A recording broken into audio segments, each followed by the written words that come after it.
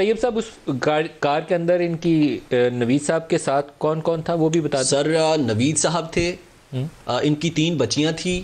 उन क्या क्या उम्रें थी तीन बेटियों की? उम्रें मुझे याद नहीं है माजर के साथ। इनकी तीन बच्चियाँ थी हम्म। और इनकी बहन थी। बहन की बेटी थी और भाई का बेटा था और नवीद साहब का एक बेटा था। नवीद साहब का अपना भी बेटा जी जी जी। एंड ऑल पास्ट वे उन सब की वफात एक गाड़ी में सब सब की वफात एक गाड़ी में थे सारे। एक गाड़ी में थे सारे। और आ, बस इन्होंने मेरी बात को मान लिया। इन्होंने कहा कि चलो चलो अल्लाह पाक खैर करे रहम करे। चलो जुबैर साहब